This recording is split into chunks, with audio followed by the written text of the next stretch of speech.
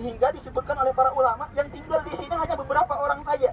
Tiga orang, dua orang saja. Selebihnya turut sibuk mengumpulkan harta. Sehingga pada saat itu Khalid bin Walid sebagai pasuk, pemimpin pasukan kuda dari pasukan kafir Quraisy memang diberikan Allah Subhanahu wa taala kelebihan untuk apa namanya? untuk lihai dalam berperang. Dari jarak yang cukup jauh, Khalid melihat orang sudah tidak ada lagi menutupi pukul. Karena pada saat itu pukulan pukulan pukulan keras yang dilakukan dia sudah tidak ada lagi. Sehingga Khalid bin Walid memerintahkan para pasukannya untuk menyerang balik. Jadi orang yang sedang